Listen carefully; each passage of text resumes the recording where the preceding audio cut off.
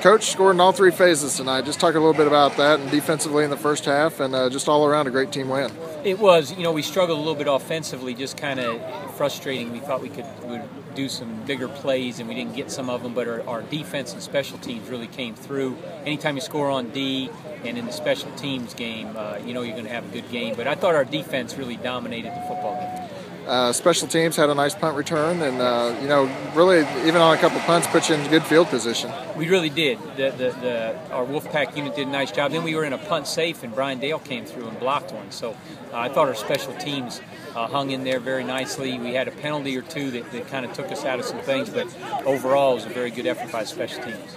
And then a uh, nice long bus ride home and get ready for Central Oklahoma next week. Yep, we got a you know another long bus ride. It's nice with the wind, winning like we did. Uh, hopefully, we get some guys back. We had some injuries tonight that you never like to see, and, and hopefully uh, they're able to come back faster than uh, than you know than someone who's going to be out for a while.